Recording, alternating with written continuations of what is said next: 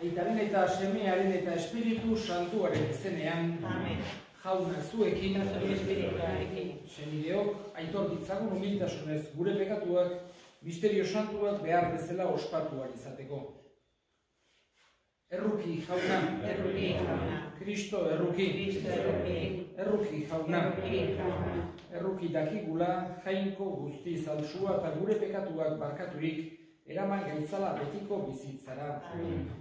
Aintza zeruetan jangoikoari, eta bakean lurrean haringo goko gizonei, hain handi eta ere zaitugulako, goraztu, erinka dazu, gorespen zuri, hauspez adur eskerra zuri, jainko jaunak zeruko ere, jangoiko eta guztia duna, jauna semaka Jesu Kristo, jainko jauna jainkoaren dios aikaren seme, zuk entzen dezu mundu pekatua, erruki jauna, zuk entzen dezu mundu pekatua, entzun gure dira. Aitaren eskuialdean jarri izan dezu, erruki jauna, zu bakarri esantua, zu bakarri jauna, zu bakarri goioikoa Jesu Kristo, Espiritu Santoarekin, jainko aitan bertan, amen. Egin dezagun otoituz. Jainko jauna, Xabierko Francisco Apaiz santuaren itzaldiez, herrialde asko ekarri zenituen zuregana. Egizu, sinismena zabaltzeko gogo biziak sutu ditzala fededunen bihotzak, eta Eliza, seme alaba berriak izateaz poztu dadila, zure seme Jesu Kristo gure jaunaren bitarte zuregin eta Espiritu Santuarekin, jainko tarrege bizi baita, gizaldi eta gizaldietan.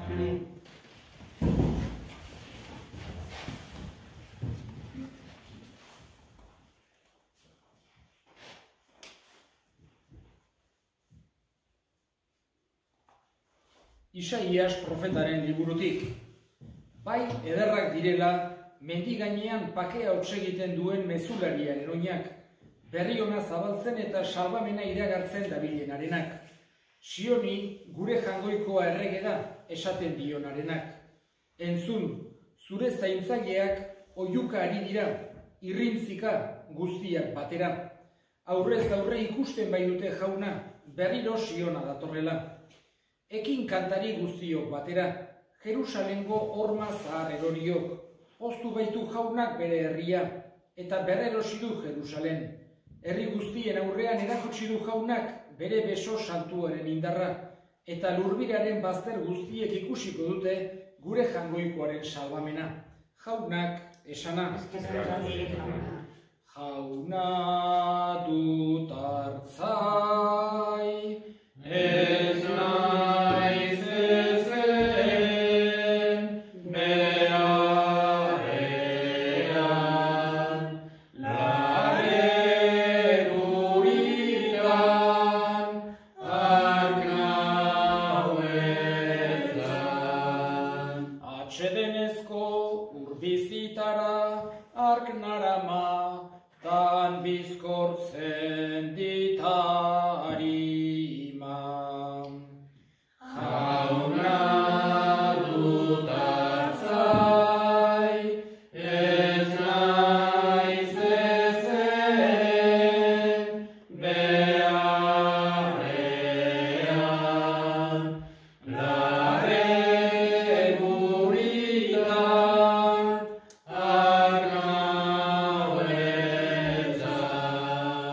San Pablo apostoluak korintotarrei, senideok, evangelioa zabaltzen dudalata ezin arro naiteke, beharrezkoa bai dut nik hori, eta errukarri ni evangelioa zabaltzen ez badut.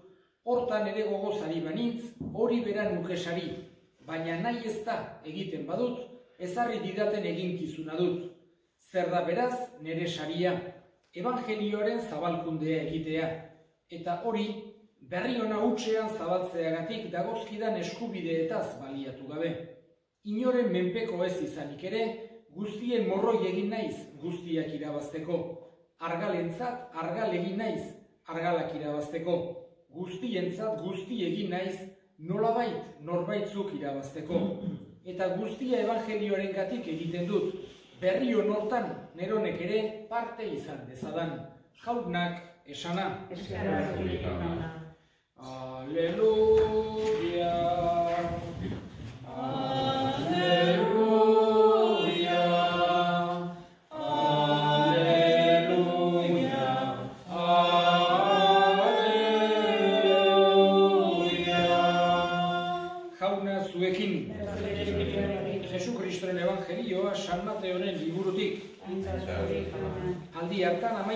Ikasleak Galileara joan ziren, Jesusek aurrez agindu zien mendira.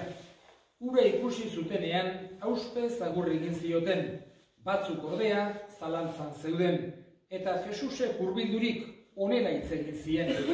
Aginpide oso osoa eman zait neri zeru horretan, zoazte eta egin ikasleak herrialde guztietatik, bataia itzazuen, aitaren eta semearen eta espiritu santuaren izenean, eta erakutsi haiei, nik agindu dizuedan guztia betetzen. Begira, ni zuekin nauzu egunero munduaren azken egunerarte. Jaunak esana. Xabierko, San Frantziskoren festaburua, ari gera ospatzen Nafarroako zaindaria, eta aldi berean ere misioetako zaindaria. Pentsatu dezakegu, badaudela santu batzuk, bakar bakarra, toki konkretu batzutan, edo giro konkretu batzutan bakarra ezagunak direnak. Beste batzuk askozaz ere unibertsalagoak dira. Esate baterako, Xabierko San Francisco mundu osoan ezaguna da. El, nuestro santo patrón de Navarra, junto con San Fermín, porque hay dos patrones en Navarra, San Fermín y San Francisco Javier, y es también patrón, como he dicho, de las misiones, junto con Santa Teresita de Lisieux, comparte los dos patronazgos San Francisco Javier. Y es un santo tremendamente universal, porque, entre otras cosas, él también fue una persona tremendamente universal. En el siglo XVI, cuando era muchísimo más difícil que ahora viajar, llegó a pisar los cinco continentes. No habría muchísima gente que lo hubiera hecho seguramente en aquel siglo. Y San Francisco Javier, por el deseo que tenía de llevar el Evangelio de Jesús a todos los lugares, llegó a hacer eso. Es conocido el momento especial que le cambió, vamos a decir así, el rumbo de la vida. Él, como tantos, bueno, tantos no, no era una cosa que de mucha gente, entonces había muy pocas universidades. Eh, había en Salamanca, en Boloña, en París, y solo unas pocas podían llegar, pero San Francisco Javier precisamente tuvo esa posibilidad y acudió a París a estudiar en la Universidad de la Sorbona y allá conoció a San Ignacio de Loyola. Se hicieron amigos, hablaban mucho y en una conversación San Ignacio le recordó unas palabras de Jesús. ¿De qué te sirve ganar el mundo entero si pierdes tu vida? Él tenía ilusión de ser una persona digamos, importante, culta, preparada, pero eso le hizo cambiar completamente, Dios tocó su corazón y dejó todas esas cosas y se dedicó totalmente a la misión. Eh, se hizo jesuita, estaba fundando la compañía de Jesús, San Ignacio, se hizo jesuita y partió como misionero desde Lisboa. De Lisboa fue a Brasil, de Brasil a Angola, de Angola por debajo de Sudáfrica hasta Mozambique y de allí fue a un sitio que le quedó en el corazón, la India. Yo diría que hay tres sitios del mundo que especialmente son fueron especialmente importantes para San Francisco Javier y el primero es la India. En la India pasó unos cuantos años, hizo grandísimos trabajos y de hecho hoy en día su cuerpo está enterrado precisamente en la India, en Goa. Todo el cuerpo menos el brazo cosas que se hacían en aquella época, le cortaron el brazo y el brazo está en Roma, en la iglesia de los jesuitas del Jesús, pero el resto del cuerpo está enterrado en la India, en Goa. Allá eh, sucedió aquel pasaje famoso en el que estaba bautizando tanta gente que no podía tener el brazo y le tenían que agarrar el brazo para seguir bautizando cientos y cientos de personas. Cuando llegó al sur de la India se llevó la sorpresa de encontrar cristianos de la época del apóstol Tomás, era un dato que él no sabía, porque no había comunicación hoy en día entre la India y, y, Navarra, y entonces ahí se llevó esa sorpresa. Después de la India, pasando por Papúa Nueva Guinea, por eso digo que llegó a Oceanía, eh, fue después a segundo lugar que también le quedó en el corazón, que tuvo una influencia grandísima, que fue Japón. En Japón, precisamente, podemos decir casi que fue el primero que llevó el Evangelio a Japón quizá hubo alguno antes, lo que sea, pero San Francisco Javier hizo una gran labor en Japón y creó unas comunidades cristianas que después, al poco de irse de Japón, eh, sufrieron unas persecuciones atroces, unas persecuciones terribles. Intentaron hacer desaparecer del mapa el cristianismo en Japón. Los sacerdotes o los expulsaban o los mataban, los cristianos les hacían apostatar entre tremendas torturas y aún así quedó un pequeño grupo, pequeño, que se mantuvo fiel al cristianismo y transmitió el cristianismo de padres a hijos, sin tener ningún misionero, ningún sacerdote.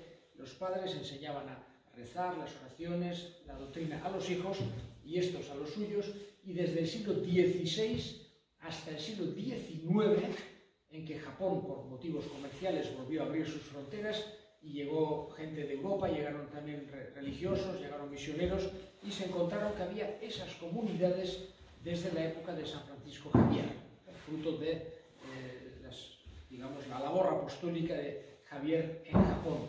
Y finalmente, su gran, vamos a decir, sueño era llegar a China. China, que ahora también es el país del mundo que tiene más habitantes, una potencia en todos los sentidos, y en aquella época también era un imperio fortísimo. Y tenía una ilusión tremenda de llevar el Evangelio a China, San Francisco Javier.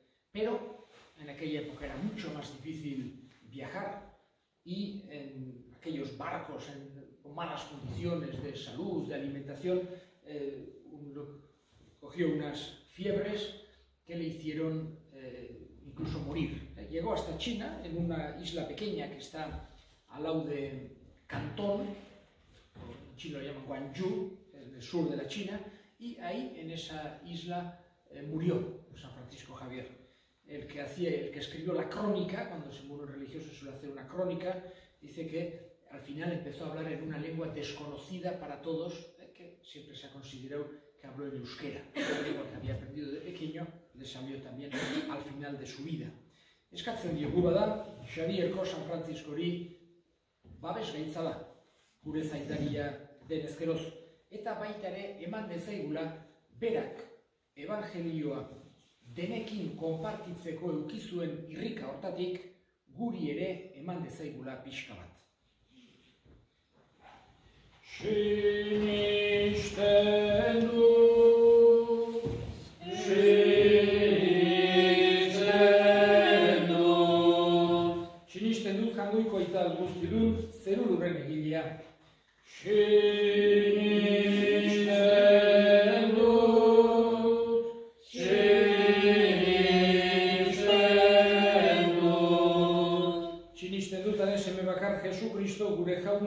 Espiritu Santuaren egitez sortu eta Andre Maria Virginia gandik jaiozena, Pontzio Pilatoren menpean ekaldua, gurutzean hiltzatua, hila eta obiratua izan zena, infernuetara jaitsi eta hirugarren egunean hilen artetik piztu zena, zeruetara igo eta jangoiko aital guztidunaren eskuinaldean jarririk dagoena, handik biziak eta hilak epaitzera etorriko dena.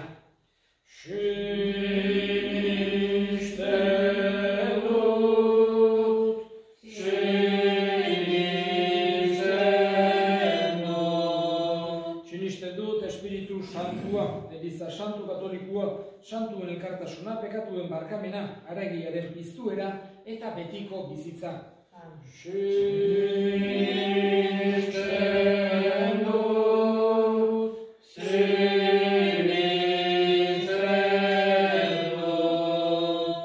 Eta egin ditzagun gure eskariak.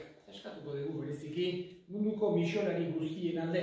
San Francisco Xavier misionarien zaindaria da eta eman dezaiela laguntza indarra beren eginkizunean. Eskate zaiogun jaunari. Entzun jauna,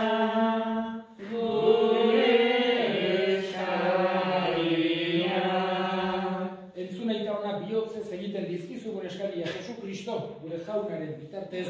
Ama,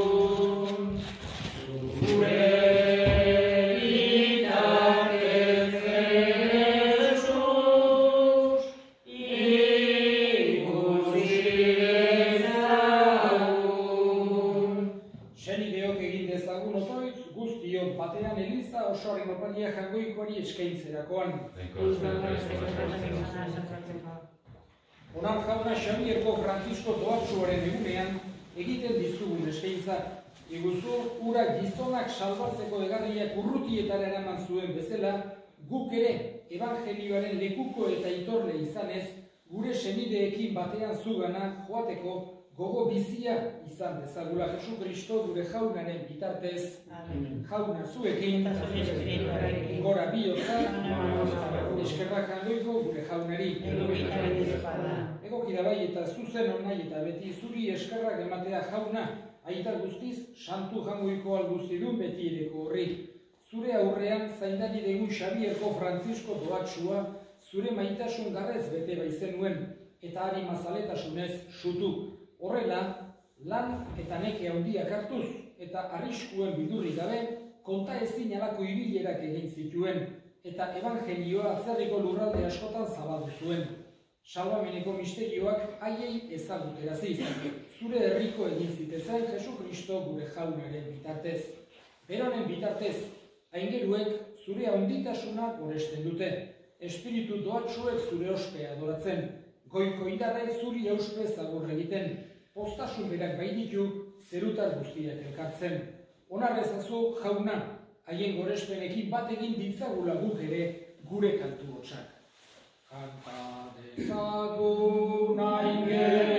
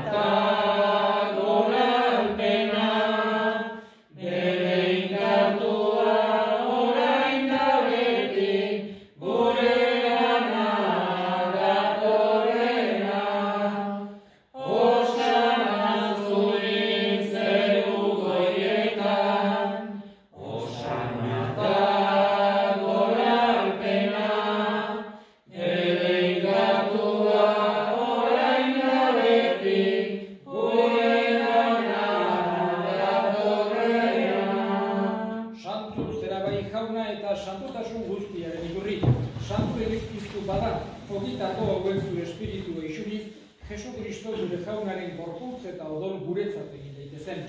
Berak, saldu zutenean eta bere gogoz gurutzera zijoala, ogi hartu eta eskerrak emanez atitu zuen eta bere ikaslei eman zien esanez. Artza zuen eta jan guztio kontatik, hau nire gorputza data zuentzat emango dena.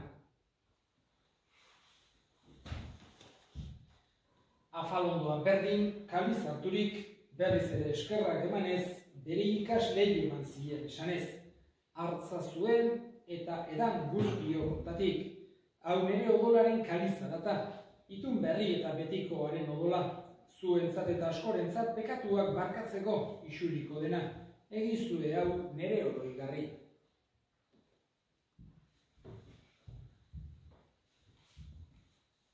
Hau da, sinismenaren misterioa.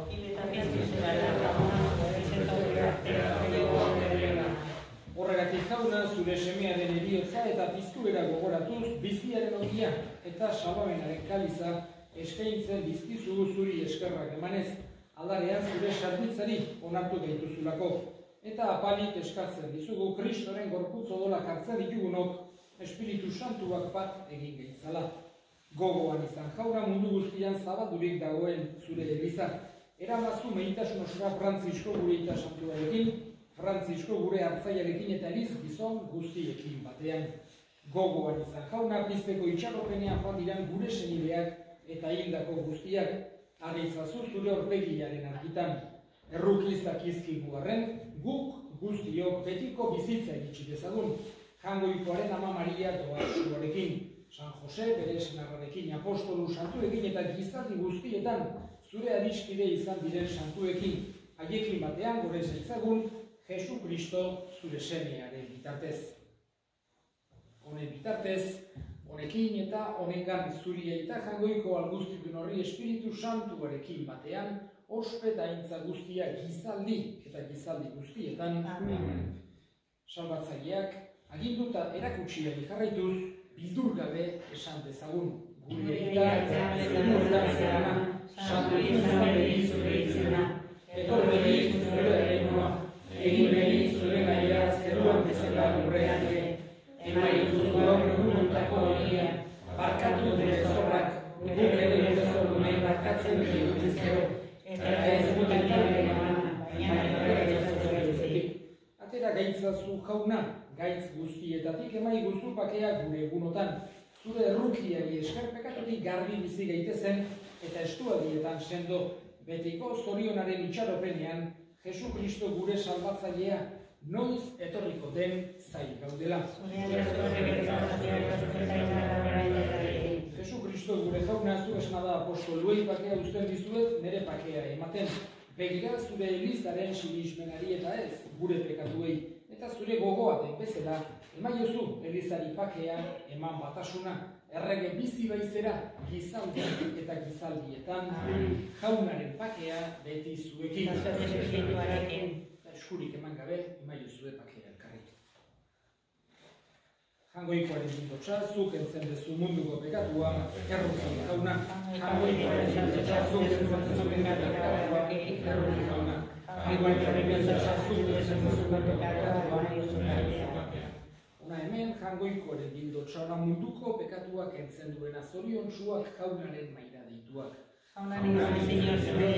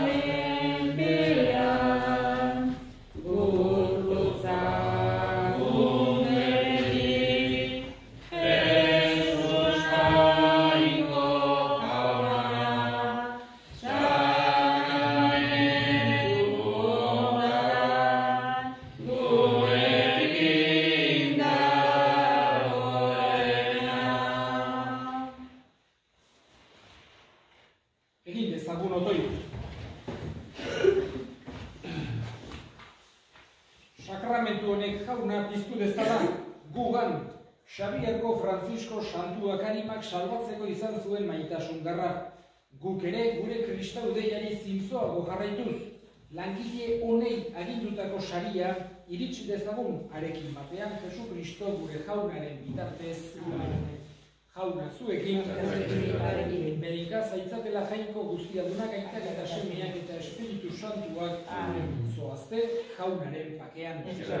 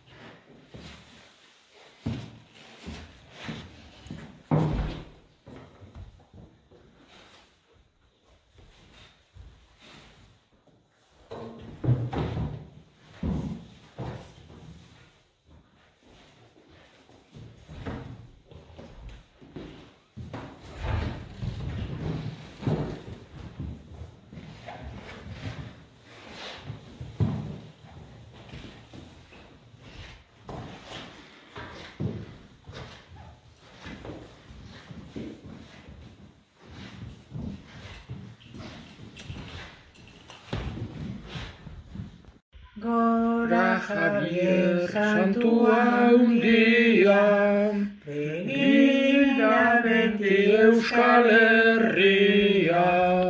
Aita Gaztarra, ama bastandarra, Euskaldun garbia zentan apartarra. Francisco Javier, hain gorezgarria, Bedenkatu zazu oldarazko herria.